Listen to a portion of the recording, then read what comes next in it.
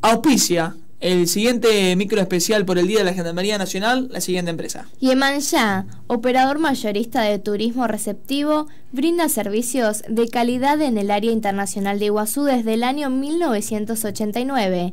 Yemanjá está en Jangaderos 132, teléfonos 420-390 y 420-214.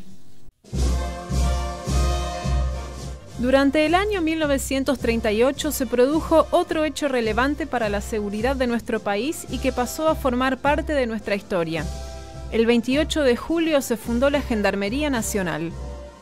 Es una fuerza de seguridad con carácter de policía militar creada durante la presidencia de Roberto Ortiz con el objetivo de consolidar los límites internacionales y garantizar la seguridad de los habitantes de las zonas alejadas de Argentina. Hoy su principal función es proteger y controlar las fronteras del país y de sitios estratégicos nacionales, por ejemplo los pasos internacionales del Estado federal.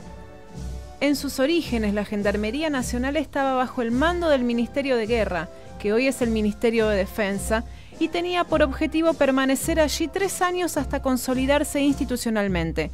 Sin embargo, esto no sucedió hasta 13 años después, en 1951. La Gendarmería Nacional tiene dos misiones principales.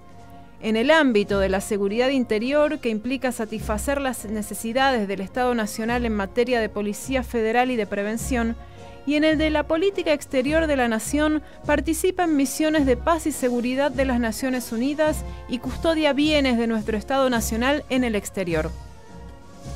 Los principales pasos internacionales están en Paraguay, Uruguay, Bolivia, Brasil y Chile. En todos ellos está presente Gendarmería, siempre dispuesta a brindar lo mejor.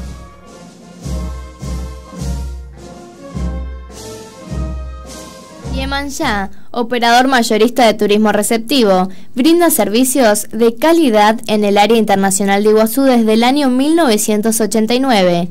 Yemanjá está en Jangaderos 132, teléfonos 420-390 y 420-214.